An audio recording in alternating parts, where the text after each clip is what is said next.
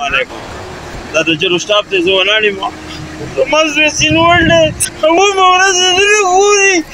لړه چاقې راوړي تش ځي کله د جرو نه خېږي په باغ ډېرې وځي کله باغ ډېرې نه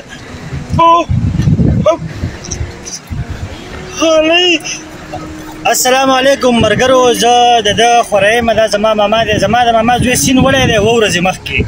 ریس کوله ته موږ د سحر نه کال کو اته بجو نه هغه چې رارسي رارسي دا ټیم وګوره دوه نیمې بجې دي د دوه نیمې بجو پورې هغه لا نه دي رارسېدلي دلته کې چې موږ له ماشوم پیدا کې هر ورځ دغه شانګې راځي او بیا واپس جالي غزارې کوي مونږ ته دونه هیڅ دغه نشته موږ زمونږ مدد وکړي مونږ نظام الدین تم خواست کوو چې مونږ سره په دې کې غم کې شریک شي دا هغه والد صاحب دی دا هغه ماشوم دا اتره دی او زه ردو خوره یم زه ریکوست کوم ټول پښتنو ټول مسلمانانو د زمون سره بری غم کې شریک شي سبا له تاسو بچیم سینوړی شي تاسو سره هم حدیثه کې دی شي چې تاسو مو سره ونه درېږئ موږ تاسو سره ونه درېږو دا سرکاري خلک دي دوی د چا سره نه ودرېږي اوس هم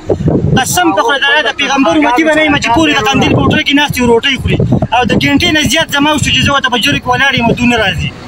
موږ اخرت ځان ته تمه وکړو پلیز زموږ سره امداد وکړئ زموږ سره خپله مرسته وکړئ چې زموږ ماشوم پیدا شي موږ نور هیڅ هم نه غواړو